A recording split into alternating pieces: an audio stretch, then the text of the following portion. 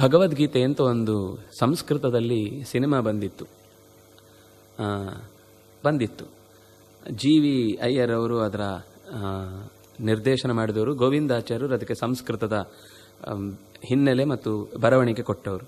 ಅದರಲ್ಲಿ ನೀವು ನೋಡಬೇಕು, ಒಂದು ಸರ್ತಿ ಖಂಡಿತ ನೋಡಲೇಬೇಕಾದ ಸಿನಿಮಾ.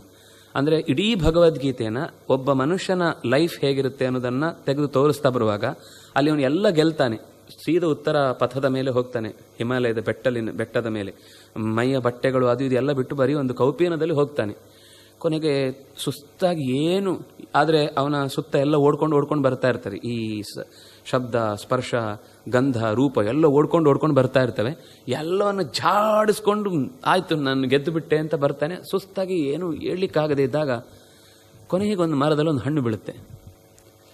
ತಿಂದುಬಿಡೋಣ ಅಂತ ಆ ಹಣ್ಣು ತಿಂತಾನೆ, ತಿಂದು ಮರುಕ್ಷಣದಲ್ಲಿ ಎಲ್ಲ ವಾಪಸ್ ಬಂದ್ಬಿಡ್ತಾರೆ. ಅದೇ, ಆ ಶಬ್ದ ಸ್ಪರ್ಶ ರೂಪದ ಅಭಿಮಾನಿ ದೇವತೆಗಳು, ಅವನನ್ನು ಬೆನ್ನಟ್ಕೊಂಡು ಬಂದರು ಎಲ್ಲ ಬಂದ್ಬಿಡ್ತಾರೆ.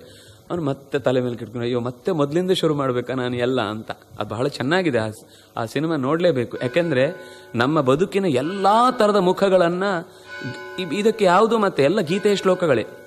ಗೀತೆಯ ಮಾತುಗಳನ್ನೇ ಇಟ್ಟುಕೊಂಡು ಮತ್ತು ಉಪನಿಷತ್ತಿನ ಕೆಲವು ಮಾತುಗಳನ್ನು ಇಟ್ಟುಕೊಂಡು ಅದರಿಂದ ನಮಗೆ ಸಂಸ್ಕೃತದ ಭಾಷೆಯ ಒಳ್ಳೆಯ ಹಿಡಿತವೂ ಬರುತ್ತೆ. ಮತ್ತು ವೇದಾಂತವನ್ನ ನಮ್ಮ ಬದುಕಿಗೆ ಅರ್ಥೈಸಿಕೊಳ್ಳಿಕ್ಕಾಗುವ ಹಾಗೆ, ಬಹುಶಃ ಇದಕ್ಕಿಂತ ಚಂದ ಇನ್ನು ಗೀತೆಯನ್ನ ಯಾರೂ ಕೂಡ ಅಷ್ಟು ಚೆನ್ನಾಗಿ ನಿರೂಪಣೆ ಮಾಡೋದು ಕಷ್ಟ ಇದೆ.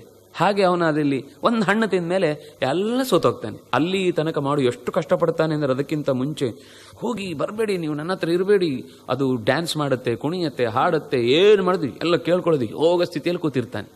ಕೊನೆಗೆ ಇನ್ನು ಹತ್ತಿ ಅದೊಂದು ಜಾಗೃತಿ, ಮೇಲಿನ ಆ ಕುಂಡಲಿನಿ ಶಕ್ತಿ ಜಾಗೃತಿ ಆಗುವ ಎತ್ತರದ ತುದಿಗೆ ಇನ್ನೇನು ಹೋಗಿ ಅಲ್ಲಿ ಅದ್ರ ಹತ್ರ ಹೋಗ್ಬೇಕು ಅನ್ನೋ ಈ ಒಂದು ಹಣ್ಣು ತಿಂದು ಎಲ್ಲ ವಾಪಸ್ ಬಂದ್ಬಿಡುತ್ತೆ ಅಂತ ಅದು ಚೆನ್ನಾಗಿದೆ.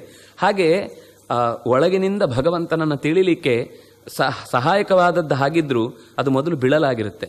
ಈ ಶಬ್ದ ಸ್ಪರ್ಶ ರೂಪ ರಸ ರಸಗಂಧಗಳೆನ್ನುವಂಥ ಶಿಫ.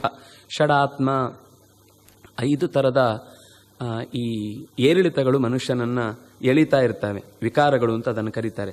ಈ ಅಸ್ಥಿ ಜಾಯತೆ ವರ್ಧತೆ ವಿಪರಿಣಮತೆ.